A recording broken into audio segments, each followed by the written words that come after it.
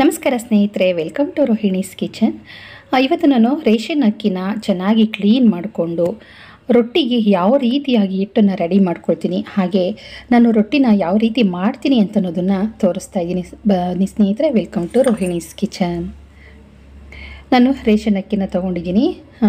ನಿಮ್ಗೆ ಎಷ್ಟು ಬೇಕೋ ಅಷ್ಟನ್ನು ತೊಗೋಬೋದು. ಇಲ್ಲಿ ನಾನು ಐದು ಕೆ ಜಿಯಷ್ಟು ಅಕ್ಕಿನ ಚೆನ್ನಾಗಿ ಜರಡಿ ಹಿಡಿದು ಅದನ್ನೆಲ್ಲ ಕೇರಿ ಕಲ್ಲು ಮತ್ತು ನುಚ್ಚಲನ್ನು ಬೇರೆ ಬೇರೆ ಮಾಡಿ ಕ್ಲೀನ್ ರೆಡಿ ಮಾಡಿ ಇಟ್ಕೊಳ್ತೀನಿ ಈ ಥರ ಮಾಡೋದ್ರಿಂದ ಕಲ್ಲು, ಭತ್ತ, ಧೂಳು ಎಲ್ಲ ನೀಟಾಗುತ್ತೆ ಕೇರೋದ್ರಿಂದ ಅದ್ರ ಮೇಲಿರೋ ಧೂಳೆಲ್ಲ ಹೋಗುತ್ತೆ. ನೋಡಿ ರೆಡಿಯಾಗಿದೆ ಇವಾಗ ಅಕ್ಕಿನ ನೀರಿನಿಂದ ಮೂರಿಂದ ನಾಲ್ಕು ಸಲ ಚೆನ್ನಾಗಿ ಕಿವುಚಿ ಕಿವುಚಿ ತೊಳಿಬೇಕು. ಯಾವುದೇ ಕಾರಣಕ್ಕೂ ನೀರಲ್ಲೇ ಅಕ್ಕಿನ ನೆನೆಯೋದಕ್ಕೆ ಬಿಡಬಾರ್ದು. ನೀರನ್ನು ಹಾಕಿದ ತಕ್ಷಣ ಚೆನ್ನಾಗಿ ಕಿವುಚಿ ನೀರನ್ನು ತೊಳೆದ್ರೆ ಅದರಲ್ಲಿರೋ ಮೇಲಿರೋ ಧೂಳು ಮತ್ತು ಏನು ಪೌಡರ್ನ ಹಾಕಿರ್ತಾರೆ? ಅಕ್ಕಿ ಹುಳ ಬರಬಾರ್ದು ಅಂತ ಅದೆಲ್ಲ ಕ್ಲೀನ್ ಆಗಿಬಿಡುತ್ತೆ. ಹಾಗಾಗಿ ಚೆನ್ನಾಗಿ ಕಿವುಚಿ ಮೂರು ನಾಲ್ಕು ಬಾರಿ ಚೆನ್ನಾಗಿ ಕಿವುಚಿ ತೊಳೆದಾದಮೇಲೆ ಒಂದು ಕುಕ್ಕೆಗೆ ಈ ಥರ ಸೋರ್ ಹಾಕ್ಕೊಳ್ತೀನಿ ನಿಮ್ಮಲ್ಲಿ ಕುಕ್ಕೆ ಇಲ್ಲ ಅಂತಂದರೆ ಕಾಳೆಲ್ಲ ಬಸಿತೀವಲ್ಲ ತೂತ್ ಬೋಸಿ ಅಂತೀವಲ್ಲ, ಅದಕ್ಕೆ ಸೋರಾಕೋಬೋದು ಅದೂ ಇಲ್ಲ ಅಂತಂದರೆ, ಒಂದು ಟಬ್ ಒಳಗಡೆ ಒಂದು ನಿಮ್ಮಲ್ಲಿ ಯಾವ್ದಾರ ಸೀರೆ ಇದ್ದೇ ಇರುತ್ತಲ್ವ ಶಿಫಾನ್ ಸೀರೆ ಇದ್ದರೆ ಒಳ್ಳೆಯದು ಕಾಟನ್ ಸೀರೆ ಇದ್ದರೆ ಅಥವಾ ನೈಟಿ ಇದ್ದರೆ ಒಳ್ಳೆಯದು ಆ ಥರ ನೈಟಿನ ಹಾಸ್ಬಿಟ್ಟು ಅದರೊಳಗಡೆ ಅಕ್ಕಿನ ಹಾಕಿ ಗಂಟು ಕಟ್ಟಿಟ್ಟರೆ ನೀರೆಲ್ಲ ಸೋರೋಗುತ್ತೆ. ನೀರು ಸೋರಾದ್ಮೇಲೆ ನೆರಳಲ್ಲಿ ಎರಡರಿಂದ ಮೂರು ದಿನ ಚೆನ್ನಾಗಿ ಒಣಗಿಸ್ಬೇಕು. ನೆರಳಲ್ಲೇ ಒಣಗಿಸೋದು ನಾನು ನಾನು ಮಾಡೋ ರೀತಿನ ಹೇಳ್ತಾ ಇದ್ದೀನಿ. ಕೆಲವರು ಬಿಸಿಲಲ್ಲಿ ಒಣಗಿಸ್ತಾರೆ. ನಾನು ಮಾತ್ರ ನೆರಳಲ್ಲೇ ಮೂರಿಂದ ನಾಲ್ಕು ದಿನ ತನಕ ಒಣಗಿಸಿ, ಒಣಗಿಸಾದ್ಮೇಲೆ ಅದನ್ನು ಮಿಲ್ಲಿಗೆ ಕೊಟ್ಟು ಚೆನ್ನಾಗಿ ಹಿಟ್ಟನ್ನು ನೈಸಾಗಿ ಪುಡಿ ಮಾಡ್ಕೊಂಡು ಬರ್ತೀನಿ. ಯಾವುದೇ ಕಾರಣಕ್ಕೂ ತರಿ ತರಿಯಾಗಿ ಮಾಡಿಸೋದಿಲ್ಲ. ತರಿ ತರಿಯಾಗಿದ್ದರೆ ಚೆನ್ನಾಗಿ ರೊಟ್ಟಿ ಬರೋದಿಲ್ಲ ಅನ್ನೋ ಕಾರಣಕ್ಕೆ ನೈಸಾಗಿ ಮಾಡಿಸ್ಕೊಳ್ತೀನಿ. ಕೆಲವೊಂದು ಅಕ್ಕಿ ಹಿಟ್ಟುಗಳು ಅಂದರೆ ಈ ಹೊಸ ಅಕ್ಕಿ ಇರುತ್ತೆ ನೋಡಿ, ಆ ಅಕ್ಕಿನಲ್ಲಿ ರೊಟ್ಟಿ ಹಿಟ್ಟನ್ನು ಮಾಡಿದ್ರೆ ತವಕ್ಕೆ ಕಚ್ಕೊಡುತ್ತೆ, ಕೈಗೆ ರೊಟ್ಟಿನ ತಟ್ತಾ ಇದ್ದರೆ ಕೈ ಕೈಗೆ ಅಂಟ್ಕೊಂಡ್ಬರುತ್ತೆ ಈ ರೀತಿ ಆಗುತ್ತೆ. ರೊಟ್ಟಿನೇ ಅಂತಲ್ಲ ಇದ್ರ ಜೊತೆಗೆ ಮುದ್ದೆಗೂ ಸಹ ಇದೇ ಥರನೇ ಮಾರ್ಬೋದು ಅಕ್ಕಿನ ತೊಳೆದಾಕಿ ನಾವು ಕಡುಬುನ ಮಾಡ್ಕೋಬೋದು, ಆಮೇಲೆ ಉಪ್ಪಿಟ್ಟಿಗೆ ಎಲ್ಲನೂ ರೆಡಿ ಮಾಡ್ಕೋಬೋದು, ರವೆ ಒಡಿಸ್ಕೊಂಡು. ರೇಷನ್ ಅಕ್ಕಿಯಿಂದ ತುಂಬಾ ಉಪಯೋಗ ಅದೇ ಇದೆ ಅಂತಲೇ ಹೇಳ್ಬೋದು. ಇವಾಗ ರೊಟ್ಟಿ ಮಾಡೋದಕ್ಕೆ ಹಿಟ್ಟನ್ನು ಜರಡಿ ಹಿಡ್ದಾಯಿತು, ಮಿಲ್ ಮಾಡಿಸ್ಕೊಂಡು ಬಂದು ಜರಡಿ ಹಿಡ್ದಾಯಿತು. ಇವಾಗ ಸಬ್ಬಸಿಗೆ ಸೊಪ್ಪು, ರೊಟ್ಟಿ ಮಾಡೋದಕ್ಕೆ ಏನೇನು ಬೇಕು ಹೇಳಿ? ಸಬ್ಬಸಿಗೆ ಸೊಪ್ಪು, ಹಾಗೆ ಮೂಲಂಗಿ ಗೆಡ್ಡೆಕೋಸು ಒಂದು ಕ್ಯಾರೆಟು, ಈರುಳ್ಳಿ, ಹಸಿಮೆಣಸಿನ್ಕಾಯಿ ಇಷ್ಟನ್ನು ತೊಗೋತೀನಿ. ಬೀಟ್ರೋಟ್ ಹಾಕೋಬೋದು. ಇನ್ನೂ ನಿಮಗೆ ಏನು ತರಕಾರಿ ಹಾಕೋಬೇಕು ಅನಿಸುತ್ತೋ ಅದನ್ನು ಹಾಕೋಬೋದು. ಹೆಚ್ಚು ತರಕಾರಿ ಸೇ, ಸೇರಿಸಿದಷ್ಟು ಚೆನ್ನಾಗಿರುತ್ತೆ. ಹಾಗೆಯೇ ಸೌತೆಕಾಯಿನ ಸೇರಿಸ್ಕೋಬೋದು. ಸೌತೆಕಾಯಿನ ತುರಿದು ನಾವು ಕೊಬ್ಬರಿ ತುರಿತೀವಲ್ಲ, ಆ ಮಣೆಯಲ್ಲಿ ತುರಿದು ಸೇರಿಸ್ಕೋಬೇಕು. ಚೆನ್ನಾಗಿರುತ್ತೆ, ಹಿಟ್ಟನ್ನು ಕಲಸುವಾಗ ಸೇರಿಸ್ಕೊಂಡ್ರೆ. ಹಾಗೆಯೇ ಯಾವುದೇ ಪದಾರ್ಥನೂ ಅಷ್ಟೇ ಸಣ್ಣದಾಗಿ ಹೆಚ್ಚಿಟ್ಕೊಳ್ಳಿ, ತುಂಬ ದಪ್ಪ ಮಾಡೋದಕ್ಕೆ ಹೋಗಬೇಡಿ. ಇದನ್ನೆಲ್ಲ ಕೊಬ್ಬರಿ ತುರಿಯೋ ಮಣ್ಣಿನಲ್ಲಿ ಚೆನ್ನಾಗಿ ತುರ್ಕೊಂಡ್ಬಿಡ್ತೀನಿ ಈ ಥರ ತುರಿಯೋದ್ರಿಂದ ಹಿಟ್ಟಿಗೆ ಚೆನ್ನಾಗಿ ಹೊಂದ್ಕೊಳ್ಳುತ್ತೆ. ಹಾಗಾಗಿ ಈರುಳ್ಳಿ ಹಸಿಮೆಣಸಿಕಾಯಿ ಇಷ್ಟನ್ನು ಚೆನ್ನಾಗಿ ಸಣ್ಣದಾಗಿ ಹಚ್ಕೋಬೇಕಾಗತ್ತೆ. ಹಾಗೆ ತೆಂಗಿನಕಾಯಿನೂ ಹಾಕ್ತಾಯಿದ್ದೀನಿ ಹಾಗೆ ಇದನ್ನೆಲ್ಲನೂ ಹಾಕಾದ್ಮೇಲೆ ಚೆನ್ನಾಗಿ ಕಿವುಚ್ಕೋಬೇಕು, ಆಯಿತಾ? ನೀವು ರಾಗಿ ರೊಟ್ಟಿ ಮಾಡೋದಾದರೂ ಇದೇ ಥರನೇ ಮಾಡ್ಬೋದು, ರವೆ ರೊಟ್ಟಿನೂ ಇದೇ ಥರನೇ ಮಾಡ್ಬೋದು, ಜೋಳದ ರೊಟ್ಟಿನೂ ಸಹ ನೀವು ಇದೇ ಥರನೇ ನಾನು ಯಾವ ರೀತಿಯಲ್ಲಿ ತರಕಾರಿ ಎಲ್ಲ ಹೆಚ್ಚಿಟ್ಕೊಂಡು ಮಾಡ್ತಿದ್ದೀನೋ ಅದೇ ಥರನೇ ತರಕಾರಿ ಎಲ್ಲ ತುರಿದು, ಕೊತ್ತಂಬರಿ ಸೊಪ್ಪು, ಹಸಿಮೆಣಸಿನ್ಕಾಯಿ ಎಲ್ಲ ಸಣ್ಣದಾಗಿ ಹೆಚ್ಚಿಟ್ಕೊಂಡು ಮಾಡ್ಕೋಬೋದು. ದಪ್ಪದಾಗಿ ಹೆಚ್ಚಿಟ್ಕೊಂಡ್ರೆ ರೊಟ್ಟಿನ ಕಲ್ಲು ಮೇಲೆ ಬಳಿಯೋದಕ್ಕೆ ಬರೋದಿಲ್ಲ. ಹಾಗಾಗಿ ಸಣ್ಣದಾಗಿ ಹೆಚ್ಚಿಟ್ಕೊಳ್ತಾ ಇದ್ದೀನಿ. ನಿಮಗೆ ಇಷ್ಟವಾಗಿರೋ ತರಕಾರಿಗಳು, ಇಷ್ಟವಾಗಿರೋ ಸೊಪ್ಪನ್ನು ಸೇರಿಸ್ಕೋಬೋದು. ನಾನಿಲ್ಲಿ ಸ, ಸಬಸ್ಗೆ ಸೊಪ್ಪು ಒಂದು ಕಟ್ಟಷ್ಟನ್ನು ಸೇರಿಸ್ತಾ ಇದ್ದೀನಿ. ಅದ್ರ ಜೊತೆಗೆ ರುಚಿಗೆ ತಕ್ಕಷ್ಟು ಉಪ್ಪು, ಹಾಗೆ ಜೀರಿಗೆನ ಹಾಕ್ಕೊಳ್ತಾ ಇದ್ದೀನಿ. ಇವಾಗ ನಾನು ಏನು ತುರಿದಿಟ್ಕೊಂಡಿದ್ದೆ, ತರಕಾರಿ, ಹಸಿಮೆಣಸಿನ್ಕಾಯಿ ಎಲ್ಲ, ಈರುಳ್ಳಿ ಎಲ್ಲನೂ ಹೆಚ್ಚಿಟ್ಕೊಂಡಿರೋ ಈರುಳ್ಳಿ ಎಲ್ಲನೂ ತರಕಾರಿ ಜೊತೆಗೆ ಹಾಕಿ ಹಿಟ್ಟನ್ನು ಕಲಿಸ್ಕೋಬೇಕು. ಅದಕ್ಕಿಂತ ಮುಂಚೆ ಇವಾಗ ಚೆನ್ನಾಗಿ ಕೈಯಲ್ಲಿ ಈ ಥರ ಕಿವುಚ್ಕೊಳ್ಳೋಣ. ಈ ಥರ ಚೆನ್ನಾಗಿ ಕಿವುಚ್ಕೊಳ್ಳೋದ್ರಿಂದ ನೀರು ಬಿಡುತ್ತೆ ತರಕಾರಿ. ಆಯಿತಾ? ತರಕಾರಿಲಿರೋ ನೀರಿನಂಶ ಈರುಳ್ಳಿಲಿರೋ ನೀರಿನಂಶ ಎಲ್ಲ ಚೆನ್ನಾಗಿ ಬಿಡುತ್ತೆ. ಉಪ್ಪು, ಜೀರಿಗೆ ಎಲ್ಲ ಚೆನ್ನಾಗಿ ಹೊಂದ್ಕೊಳ್ಳುತ್ತೆ. ಹಿಟ್ಟನ್ನು ಹಾಕಿ ಒಟ್ಟಿಗೆ ಕಲಿಸ್ಬೋದು. ಒಟ್ಟಿಗೆ ಕಲಿಸೋದಕ್ಕಿಂತ ಈ ಥರ ಮಾಡಿದ್ರೆ ಚೆನ್ನಾಗಿ ಹೊಂದ್ಕೊಳ್ಳುತ್ತೆ. ರಾಗಿ, ಅಕ್ಕಿ ಹಿಟ್ಟೆ ಆಗಲಿ, ರಾಗಿ ಹಿಟ್ಟೆ ಆಗಲಿ. ಆಮೇಲೆ ಹಿಟ್ಟನ್ನು ನಿಮಗೆ ಎಷ್ಟು ಬೇಕೋ ಅಷ್ಟು ಅದಕ್ಕೆ ಹಾಕ್ಕೊಂಡು ಕಲಿಸ್ಕೋಬೋದು. ಈಗ ಆಲ್ರೆಡಿ ನಾನು ಹೆಚ್ಚಿಟ್ಟಿರೋ ತರಕಾರಿಯಿಂದ ಆಲ್ರೆಡಿ ನೀರನ್ನು ಚೆನ್ನಾಗಿ ಬಿಟ್ಟಿದೆ. ಸ್ವಲ್ಪ ಸ್ವಲ್ಪನೇ ನೀರನ್ನು ಹಾಕಿ ಕಲಿಸ್ಕೊಡಿ. ಜಾಸ್ತಿ ನೀರು ಹಾಕಿದ್ರೆ ಅಂಬ್ಲಿ ಥರ ಆಗುತ್ತೆ. ಇಲ್ಲಿ ನಾನು ಎರಡು ಥರ ರೊಟ್ಟಿನ ಮಾಡ್ಬೋದು.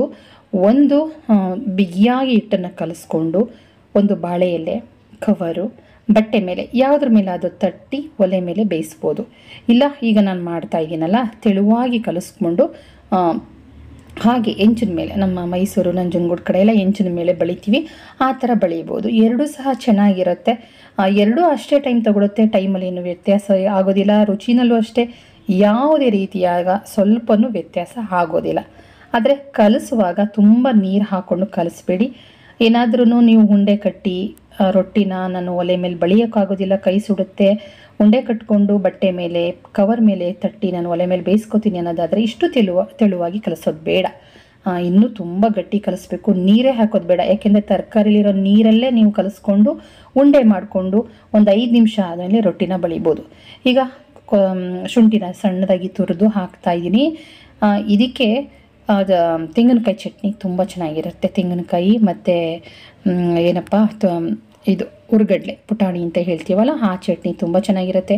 ನಿಮಗೆ ಗೊತ್ತು, ತೆಂಗಿನಕಾಯಿ, ಉರ್ಗಡ್ಲೆ, ಹಸಿಮೆಣಸಿನ್ಕಾಯಿ ಕರ್ಬೇ ಸೊಪ್ಪು ಆಮೇಲೆ ಹುಣಸೆಹಣ್ಣು, ಉಪ್ಪು, ಬೆಳ್ಳುಳ್ಳಿ, ಹಾಗೆ ರುಚಿಗೆ ತಕ್ಕಷ್ಟು ಉಪ್ಪು. ಇಷ್ಟನ್ನು ಹಾಕಿ ನೈಸಾಗಿ ಈ ಥರ ಗಟ್ಟಿಯಾಗಿ ರುಬ್ಕೊಂಡ್ರೆ ರುಚಿಯಾಗಿರೋ ಚಟ್ನಿ ರೆಡಿಯಾಗುತ್ತೆ ಈ ಚಟ್ನಿಗೆ ನೀವು ಹುಚ್ಚಳ ಚಟ್ನಿನೂ ಸಹ ಮಾಡ್ಕೋಬೋದು. ರಾಗಿ ರೊಟ್ಟಿನ ಸೇಮ್ ಇದೇ ಮೆಥಡಲ್ಲಿ ಮಾಡ್ಬೋದು.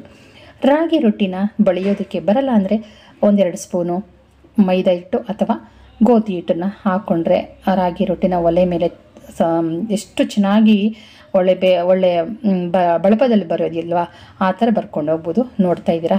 ಇವಾಗ ಸ್ವಲ್ಪ ಮಟ್ಟಿಗೆ ಎಣ್ಣೆ ಹಾಕಿ ಕಲ್ಲು ಚೆನ್ನಾಗಿ ಕಾದ ಮೇಲೆ ಚೆನ್ನಾಗಿ ಎಣ್ಣೆ ಎಲ್ಲ ಹಚ್ಬಿಟ್ಟು ಈಗ ಹಿಟ್ಟನ್ನು ಹಾಕ್ಕೊಂಡು ಕೈಯನ್ನು ಒದ್ದೆ ಮಾಡ್ಕೊಂಡು ಮಾಡಿಕೊಂಡು ಹಿಟ್ಟು ನೋಡಿ ಈ ಥರ ಕಲ್ಲನ್ನು ತುಂಬ ಚೆನ್ನಾಗಿ ಈ ಥರ ಹರಡ್ಕೋಬೇಕು ಇದೇ ಥರನೇ ರಾಗಿ ರೊಟ್ಟಿ ಮಾಡ್ಬೋದು.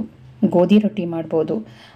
ಮತ್ತು ಇನ್ನೊಂದು ಏನಪ್ಪ, ರವೆ ರೊಟ್ಟಿ ಮಾಡ್ಬೋದು, ಜೋಳದ ರೊಟ್ಟಿ ಮಾಡ್ಬೋದು. ಸೇಮ್ ಇದೇ ಮೆಥಡಲ್ಲಿ ಮಾಡ್ಬೋದು. ಆದರೆ ಮಾಡೋ ವಿಧಾನ ಮಾತ್ರ ನಿಮಗೆ ಗೊತ್ತಿರಬೇಕು. ಕೈ ಸುಡೋಲ್ವಾ ಅಂದರೆ ಖಂಡಿತ ಸುಡೋದಿಲ್ಲ ಸ್ನೇಹಿತರೆ, ನಮಗೆ ಅಭ್ಯಾಸ ಆಗಿದೆ. ಜೊತೆಗೆ ಖಂಡಿತವಾಗಿಯೂ ಕೈ ಸುಡೋದಿಲ್ಲ.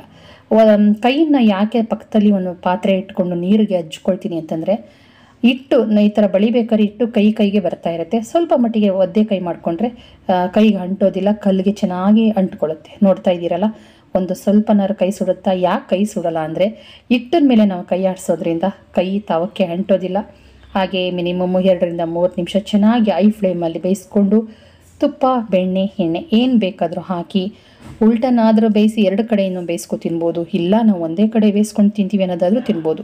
ಆದರೆ ಒಂದೇ ಕಡೆ ಬೇಯಿಸ್ಬೇಕಾದ್ರೆ ಚೆನ್ನಾಗಿ ಕ್ರಿಸ್ಪಿಯಾಗಿ ಬೇಯಿಸಿದ್ರೆ ಮಾತ್ರ ಚೆನ್ನಾಗಿರೋದು. ಆಯಿತಾ? ಇವಾಗ ಎಲ್ಲನೂ ಉಲ್ಟಾ ಮಾಡಿ ಹಾಕಿ ಬೇಯಿಸ್ಕೊತೀನಿ. ನೋಡ್ತಾ ಇದ್ದೀರಾ? ಎಷ್ಟು ಚೆನ್ನಾಗಿ ಬಂದಿದೆ ಅಂತ. ಹಾಗೆ ಒಂದು ರೊಟ್ಟಿನ ಆ ಥರ ಮಾಡೋದನ್ನ ಮನೆಯಲ್ಲಿ ಕಡಲೆಬೇಳೆ ಹಾಕಮ್ಮ ಅಂತ ಹೇಳಿದ್ರು. ಕಡಲೆಬೇಳೆ ಹಾಕಿ ಅಮ್ಮ, ಚೆನ್ನಾಗಿರುತ್ತೆ ಅಂತ ಮಗ ಹೇಳಿದ್ದಕ್ಕೆ ಕಡಲೆಬೇಳೆನ ಹುರಿದು ತುಪ್ಪದಲ್ಲಿ ಓದಿಲ್ಲ ಹಾಗೆ ಡ್ರೈಯಾಗಿ ಉಟ್ಕೊಂಡು ಆ ರೊಟ್ಟಿಗೆ ಮಿಕ್ಸ್ ಮಾಡ್ಕೊಳ್ತಾ ಇದ್ದೀನಿ ರೊಟ್ಟಿ ಹಿಟ್ಟಿಗೆ. ಮಿಕ್ಸ್ ಮಾಡಿಕೊಂಡು ಅದನ್ನು ಸಹ ಬೆಳಿತೀನಿ.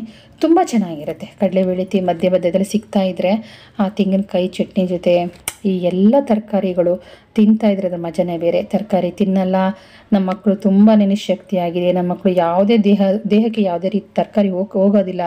ಆಮೇಲೆ ತಿನ್ನೋದು ತುಂಬ ಹೊಟ್ಟೆ ಉರಿಸ್ತವೆ ಹೇಗಾದರೂ ಮಾಡಿ ನಮ್ಮ ಮಕ್ಕಳು ಹೊಟ್ಟೆಗೆ ತರಕಾರಿ ಹೋಗೋ ಮಾಡಬೇಕು ಅಂದರೆ ಈ ಥರ ಮಾಡಿಕೊಡಿ. ಖಂಡಿತವಾಗ್ಲೂ ಎಲ್ಲ ಥರ ತರಕಾರಿಗಳು ಹಾಕ್ಬೋದು, ಸೊಪ್ಪನ್ನು ಹಾಕ್ಬೋದು, ಸಬ್ಬಸ್ಗೆ, ಮೆಂತ್ಯ ಆಮೇಲೆ ಕುಯ್ಯರವೆ ಇದನ್ನೆಲ್ಲ ಹಾಕ್ಬೋದು. ಸೊಪ್ಪನ್ನು ಹಾಕಬೇಕಾದ್ರೆ ಸಾಧ್ಯವಾದಷ್ಟು ಎಲೆಗಳನ್ನು ಹಾಕಿ ಆಮೇಲೆ ಎಳೆಯಾಗಿರೋ ಕಡ್ಡಿಗಳನ್ನು ಹಾಕಿ, ತುಂಬ ಕಡ್ಡಿಗಳು ಹಾಕಿದ್ರೆ ಬೇಯೋದಿಲ್ಲ. ಆಗ ಇಲ್ಲ ಅಂತಂದರೆ ಒಲೆ ಮೇಲೆ ಪಾತ್ರೆ ಇಟ್ಟು ಅದನ್ನು ಒಂದು ಎರಡು ಕುದಿ ಬ ಬೇಯಿಸ್ಕೊಂಡು ಅದೇ ನೀರಿಗೆ ನೀವು ತಣ್ಣಗಾದ ಮೇಲೆ ರೊಟ್ಟಿ ಹಿಟ್ಟನ್ನು ಹಾಕಿ ಕಲಿಸ್ಕೊಂಡು ಇದೇ ಥರ ರೊಟ್ಟಿನ ಮಾಡ್ಬೋದು. ಮಸಾಲ ರೊಟ್ಟಿ ಮಾಡ್ಬೋದು. ಎಲ್ಲ ಥರ ರೊಟ್ಟಿನೂ ಮಾಡ್ಬೋದು. ಇದು ಯಾವುದೇ ಇದಿಲ್ಲ ಬರೋದಿಲ್ಲ ಅನ್ನೋ ಹಂಗಿಲ್ಲ. ರೊಟ್ಟಿ ಮಾಡೋ ಹಸಿ ಹಿಟ್ಟುಗಳು ಬೇರೆ. ಅದೇ ವಿಧಾನ ಮಾತ್ರ ಇದೇ ಥರನೇ ಇರುತ್ತೆ. ಮತ್ತೊಂದು ರೊಟ್ಟಿನ ಮಾಡ್ಕೊಳ್ತಾ ಇದ್ದೀನಿ. ಕಡಲೆಬೇಳೆ ಎಲ್ಲ ಹಾಕಿದ್ದೀನಲ್ವ? ಎಷ್ಟು ಚೆನ್ನಾಗಿ ಕಾಣಿಸ್ತಾ ಇದೆ ನೋಡಿ. ಹಾಗೆಯೇ ಗೊಡ್ಗಾರ, ಉಪ್ಸಾರಂಕಾರ ಏನಂತ ಹೇಳ್ತೀವಿ, ಅದ್ರ ಜೊತೆಗೆ ತುಪ್ಪ, ಬೆಣ್ಣೆ ಇಷ್ಟನ್ನು ಹಾಕ್ಕೊಂಡು ತಿಂದರೆ ಚೆನ್ನಾಗಿರುತ್ತೆ. ಸೊಸೈಟಿ ರೈಸ್ ಬಿಟ್ಟರೆ ಬೇರೆ ಯಾವುದೇ ರೈಸಲ್ಲೂ ರೊಟ್ಟಿ ಇಟ್ಟು ಚೆನ್ನಾಗಿ ಆಗೋದಿಲ್ಲ. ತುಂಬ ತರಿಯಾಗಿ ನೀವೇನಾದ್ರು ಹಿಟ್ಟನ್ನು ಮಾಡಿಸ್ಕೊಂಬಂದರೆ ಒಂದು ಇಪ್ಪತ್ತು ನಿಮಿಷ, ಅರ್ಧ ಗಂಟೆ ನೆನೆಸ್ಬೇಕಾಗುತ್ತೆ. ರೊಟ್ಟಿ ಅಷ್ಟೊಂದು ಚೆನ್ನಾಗಿ ಬರೋದಿಲ್ಲ. ನೈಸಾಗಿ ಮಾಡಿಸ್ಕೊಂಡ್ರೆ ಚೆನ್ನಾಗಿ ಬರುತ್ತೆ. ತರಿ ತರಿಯಾಗಿ ಗಂಟ್ಲು ಚುಚ್ಚಿದಂಗೆ ಆಗುತ್ತೆ, ಒರಟಾಗುತ್ತೆ ರೊಟ್ಟಿ.